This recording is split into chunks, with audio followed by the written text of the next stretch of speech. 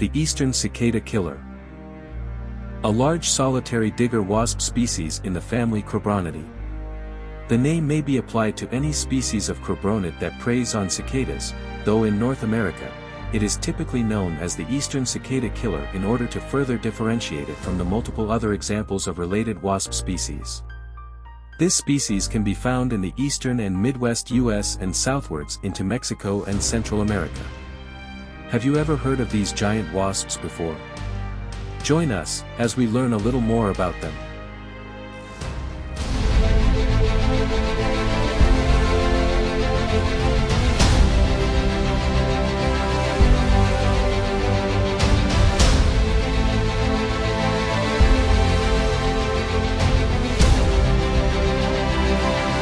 Adult eastern cicada killers are large, at 0.6 to 2 inches long.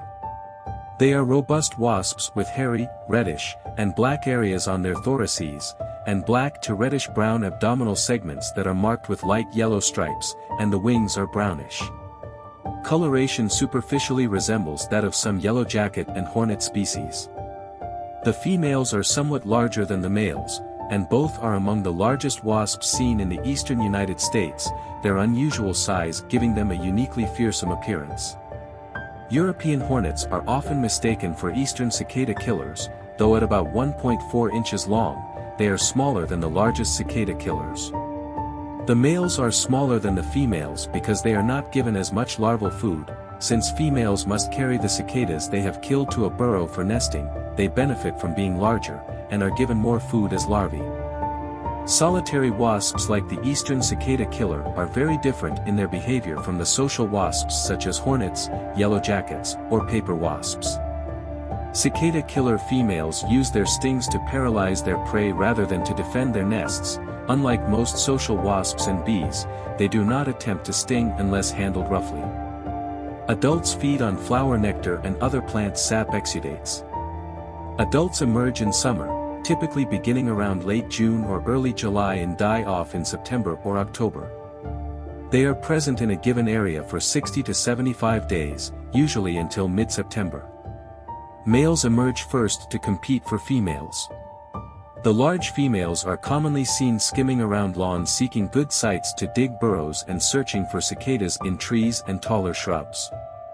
The males are more often seen in groups, vigorously challenging one another for position on the breeding aggregation from which they emerged, and generally investigate anything that moves or flies near them.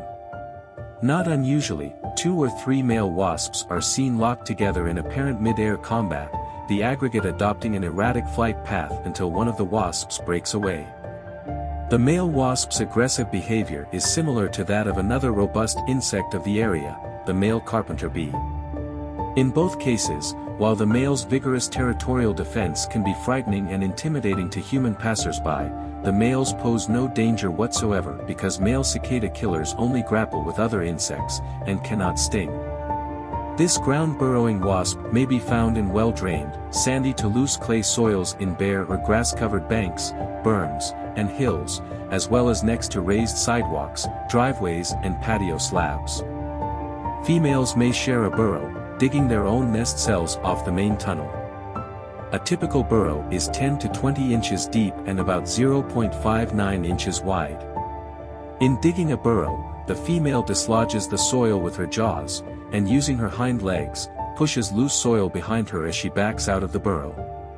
Her hind legs are equipped with special spines that help her push the soil behind her. The excess soil pushed out of the burrow forms a mound with a trench through it at the burrow entrance. Cicada killers may nest in planters, window boxes, or flower beds, or under shrubs and ground cover. Nests often are made in the full sun where vegetation is sparse. After digging a nest chamber in the burrow, female cicada killers capture cicadas, paralyzing them with a sting. After paralyzing a cicada, the female wasp holds it upside down beneath her and takes off toward her burrow. This return flight to the burrow is difficult for the wasp because the cicada is often more than twice her weight. A wasp often lugs her prey up into the nearest tree, to gain altitude for the flight to the burrow. After putting one or more cicadas in her nest cell, the female deposits an egg on a cicada and closes the cell with soil. Male eggs are laid on a single cicada, but female eggs are given two or sometimes three cicadas, because the female wasp is twice as large as the male and must have more food. New nest cells are dug as necessary off the main burrow tunnel, and a single burrow may eventually have 10 or more nest cells. The egg hatches in one or two days, and the cicadas serve as food for the grub, and the larvae complete their development in about two weeks. Pupation occurs in the nest cell in the spring and lasts 25 to 30 days, and only one generation occurs per year. The lifespan of an eastern cicada killer is about 2 to 6 weeks for adults, with the females living about 4 weeks while the males live about 2 weeks. So, what did you think of the eastern cicada killer? Were you aware of their short lifespans?